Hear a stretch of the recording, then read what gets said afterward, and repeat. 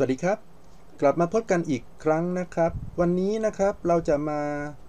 ทดลองเขียนโปรแกรมด้วยฟังก์ชันที่เกี่ยวกับวันและเวลานะครับ หรือบางท่านนะครับจะเรียกว่าฟังก์ชันใช้งานในลักษณะที่เป็น Calendar หรือปฏิทินนะครับ ฟังก์ชันที่ว่านะครับอยู่ในกลุ่ม Timer นะครับ วันนี้ครับเราจะมาลองใช้งานฟังก์ชัน weekly timer กันนะครับ ลักษณะของการใช้งาน weekly timer นะครับ เป็นการกำหนดนะครับ การทำงานนะครับให้กับ output นะครับ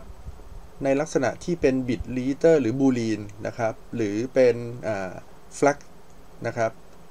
ซึ่งในตัวอย่างนี้นะครับ เราจะใช้ weekly timer นะครับ เพื่อควบคุมการทำงานของ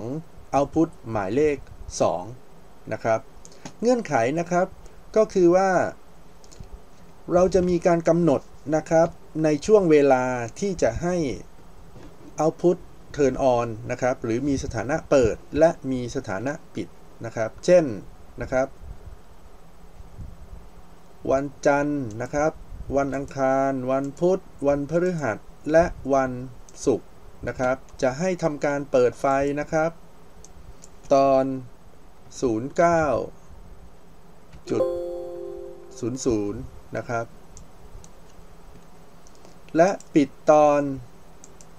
12.00 นะครับ 12.00 นะครับ เสร็จแล้วคลิกโอเคนะครับ ก็จะเห็นว่านะครับที่ตัวบล็อกนะครับใน Diagram Editor นะครับ ก็จะพบกับเงื่อนไขนะครับที่เราตั้งไว้นะครับก็คือ จันทร์อังคารพุธพฤหัสศุกร์นะครับ 9.00 ถึง 12.00 นะครับ ให้ output on นะครับ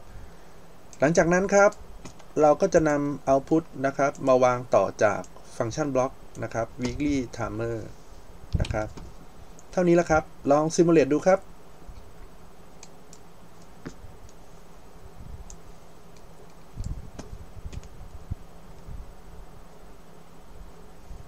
นะครับจะเห็นว่าตอนนี้นะครับ ไฟติดนะครับ ซึ่งเวลาในขณะนี้คือ 11 นาฬิกานะครับ00นะครับ ตรงตามเงื่อนไขนะครับ ทีนี้ถ้าเกิดเราต้องการจะเปลี่ยนนะครับ เช่นผมทำการเปลี่ยนเวลาเป็น 11.03 แล้วกด apply นะครับ จะเห็นว่าไฟก็จะดับนะครับ เนื่องจากเงื่อนไขของเวลานะครับ เปลี่ยนไปเป็น 11นาฬิกา3นาทีนะครับ ไฟจึงจะติดนะครับ และจะไปดับตอน 11อ่า12นาฬิกานะครับ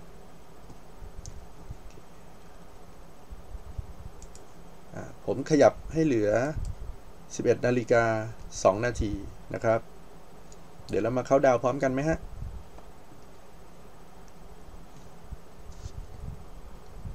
สิบห้า